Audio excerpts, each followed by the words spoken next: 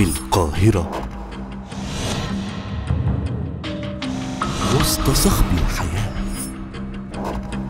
تنتهي حياتها.